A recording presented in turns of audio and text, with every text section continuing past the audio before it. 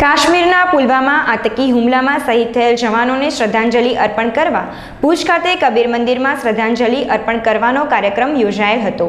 આ ઉપરાંત શહીદ પરિવારોને આર્થિક મદદ મળે તે માટે કબીર સાહેબ સેવા સંસ્થા તથા કબીર મંદિર દ્વારા એક લાખ અગિયાર હજાર એકસો અગિયાર રૂપિયાનો ચેક કલેક્ટરશ્રીને અર્પણ કરવામાં આવેલ હતો.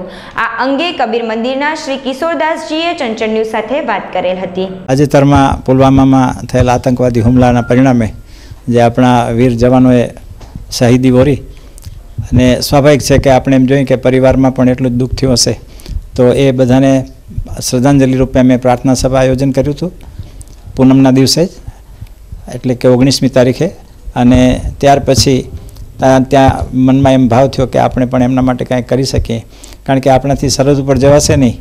આપણાથી બીજી કોઈ રીતે ઉપયોગી નહીં થવાય. પણ આ તો જરૂર કરી શકાશે કે જે એમના પરિવારને મદદરૂપ થઈ શકાય.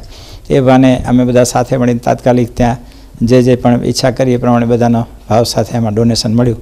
અને આજે એક લાખ અગિયાર હજાર એકસો અગિયાર સદગુરુ કબીર સાહેબ સેવા સંસ્થા અને કબીર મંદિર એ વતીથી અમે ત્યાં અહીં સાહેબને અર્પણ કર્યો, કચ્છ કલેક્ટર સાહેબ પાસે.